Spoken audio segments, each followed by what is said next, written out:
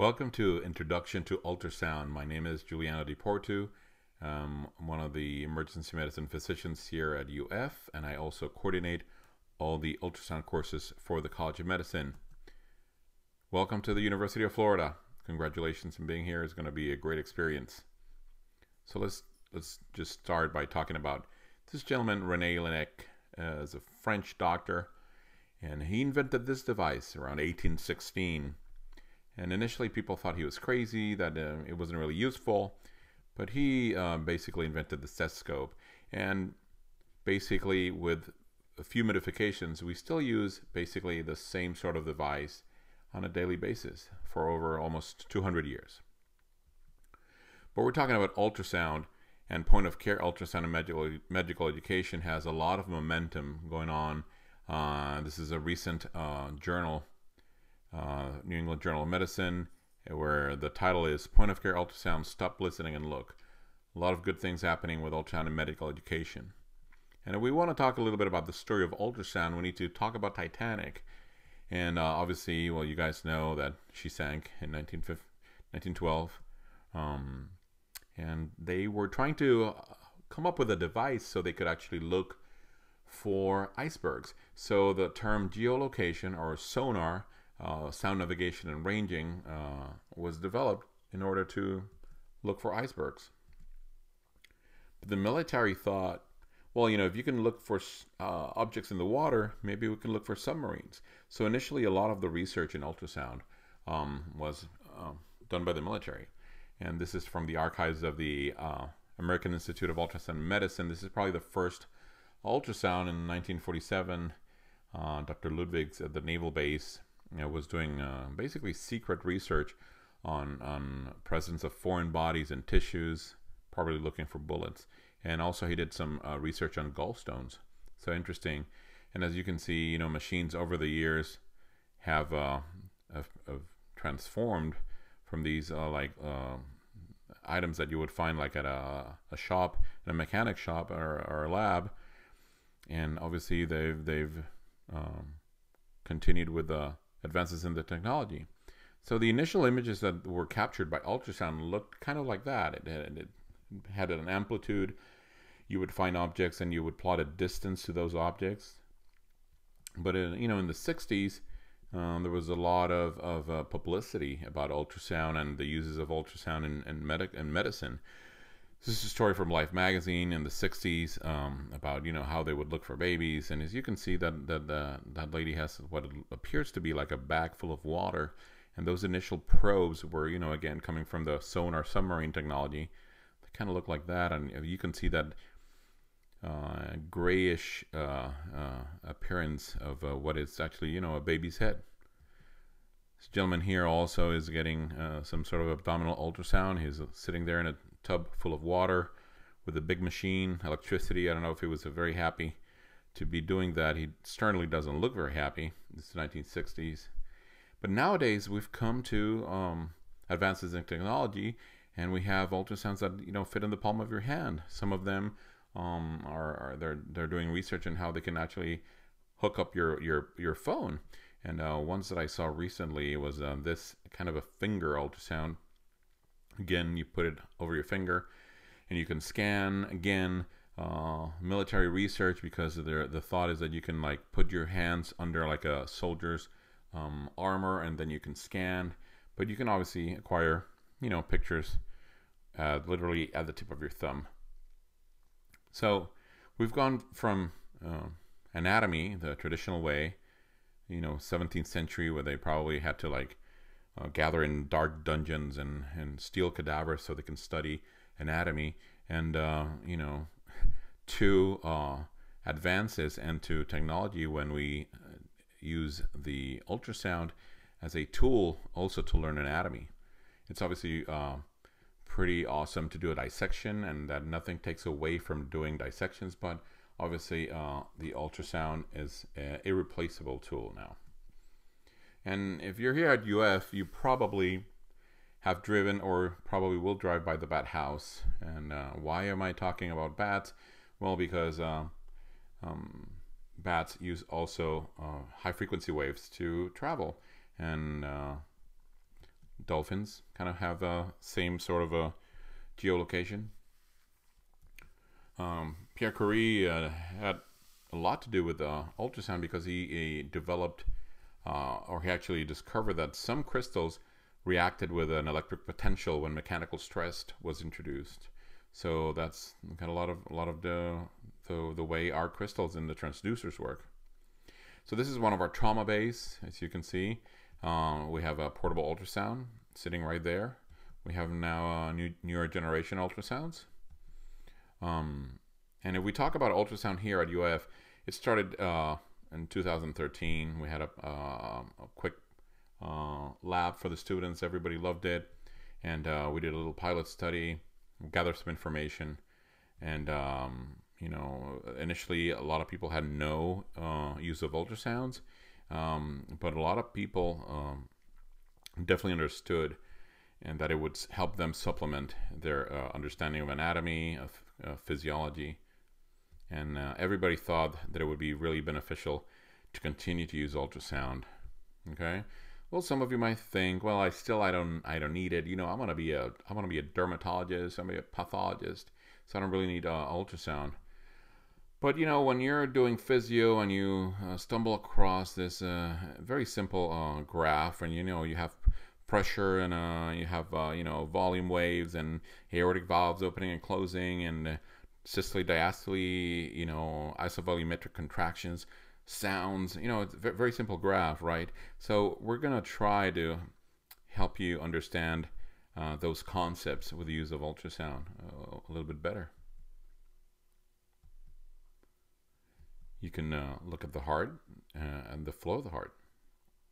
So our idea here is to continue to introduce you to ultrasound through the fourth years of medical school. And uh, some folks at uh, Loma Linda, California, they've been trying to come up with uh, the milestones that uh, that they think everybody med- every every medical student should uh, learn, and that's some research that's uh, probably about to be published.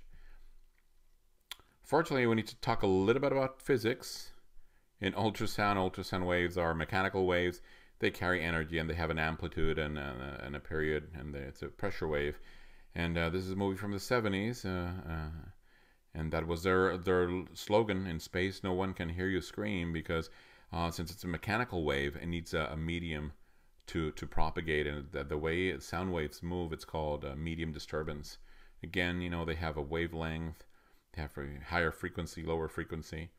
But basically we can say that in dry air the speed of sound is about 343 meters per second but it travels four times uh, faster in water and that's because if you think about it, water is packed a little bit tighter than air, and because of the medium disturbance, it helps propagate that uh, that wave faster. We look about you know kind of a cool picture of it that's an, an F-18 probably uh, at hypersonic speeds, and that's condensation of, of the sound waves. And if you think about it, supersonic, obviously faster than sound. What happens is that uh, that uh, plane is going to be moving ahead of the waves, and basically that sonic boom that people describe is just a, a summation of those sound waves. And uh, when you hear the boom, it's not because they broke the barrier; it's just because that the edge of the of the cone has reached your ear. So you're listening to all the summations of the waves. And we measure the waves in hertz. An audible sound, you know, it's from uh, 20 hertz to 20,000 hertz. Ultrasound waves are obviously not heard by the human ear unless you have, you know, some sort of bad you know, unless you're Batman. Uh, so anything greater than 20,000 hertz are, are, ultrasound waves, and clinical ultrasound basically it's 2 to 20 megahertz. Okay, and um, the way they work is, and the way we use ultrasound, it's it's based on the pulse echo principle. Basically, you have a transducer that sends a signal. And, and the waves move through the tissues and they hit objects and they we we capture or we listen to that reflected wave and that echo, we plot and we basically plot the intensity of the reflection and the depth of the reflection. But when we start looking at these like, you know, blurry gray images, we need to talk a little bit about terminology, okay? So we're the the term uh, echo, you're going to hear it uh, often. Uh, we talk about objects being hyperechoic or hypoechoic or anechoic. And a lot of things in medicine have those prefixes, right? So hypo meaning like low, hyper meaning high, uh, you know, hypertension, uh, anechoic uh, meaning uh, having no echo. So that's why it looks like dark. And uh, tissues in the in the body have different, you know, amplitudes. Uh, when we talk about the echoes, and like bones, calcifications are going to be how are going to have the highest amplitude like the diaphragm versus the lowest amplitude as you go down the uh, the tissues and you know, we talk about blood, urine, etc. So, but when we're scanning, the, we have artifacts or things that in a way interfere with our image, but uh, we also use those artifacts to uh, identify normal versus abnormal pathology. And a common uh, artifact that we find is uh, shadowing. And obviously, if you look at that picture, that ultrasound image, you see that that's gallbladder. I'll tell you that. Uh, and you have kind of what looks like a stone. It's really hyperechoic, right? And and below the stone, uh, there's a shadow, and it's because the beam that's coming from above uh, hits that highly reflective uh, uh structure, has uh, and the energy from the beam in a way is returned, uh, but it, it has little left to continue. So you create a shadow there. Um, then you can have what's called edge shadows and that's due because of a change in direction of the sound beam uh, and when it, it, it encounters a, a, curved structure. Uh, so you, you, those are normal, okay? And then you have a thing that is uh, called acoustic enhancement. Basically, the again the beam is coming from above. It hits a structure that's basically empty, has you know less attenuation, and and the beam continues, and in a way it has if you want to think about it, it has a little bit more energy. So when it hits the posterior uh, aspect of that structure, it uh, it has basically more energy, and it, uh, it creates that um, enhanced image. And there on the right, you have the the on the right you have the the gas pattern, and, gas creates an artifact, so it blocks tissues.